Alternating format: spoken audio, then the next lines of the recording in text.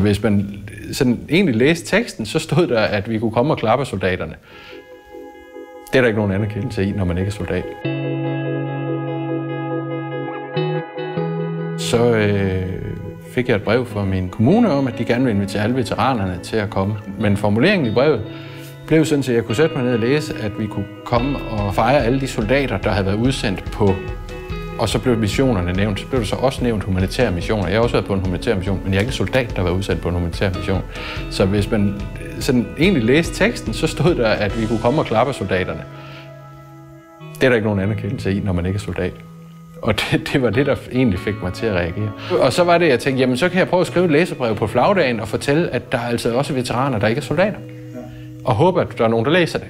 Øh, og, og jeg fik nogle reaktioner fra andre beredskabsveteraner, om at det var de glade for. Og, og, og nogen sagde, at jeg havde ramt hovedet på sømmet med, at, at altså det her med at, at drukne i havet, fordi så mange, så mange er vi ikke sammenlignet med de militære veteraner. Hvis man skal anerkendes for noget, man har gjort, noget, man har været en del af, øh, som jo det veteranbegrebet handler om, øh, så skal man anerkendes for det, man er, og det, man har gjort, og det, man er en del af.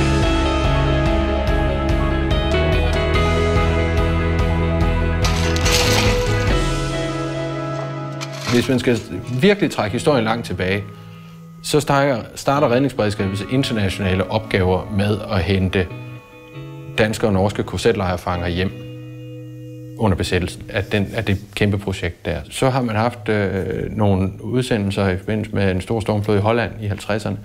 Øh, Ungarnskrisen var der et øh, hospital igen afsted. Der var folk i Polen i 80'erne, men det var altid en undtagelse, fordi lovgivningen omkring katastrofeberedskabet var, at det, vi skulle arbejde i Danmark. Så kunne regeringen jo bestemme noget andet, eller Folketinget kunne bestemme noget andet til en enkelt situation. Men for 90 og frem, der, der blev det faktisk åbnet for, at vi også kunne arbejde mere, altså ja. åbne i udlandet.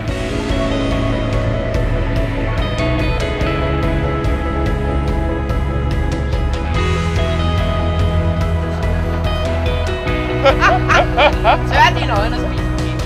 Ja, det er jo ikke lige fra en første klasse. Ah, det er da fint. I dag tror jeg, at Beredskabsstyrelsen har nærmest folk udsendt hele tiden, og har et veletableret samarbejde med, med, med andre lande om at lave fælles udsendelser og, ja. og sådan noget. Ikke?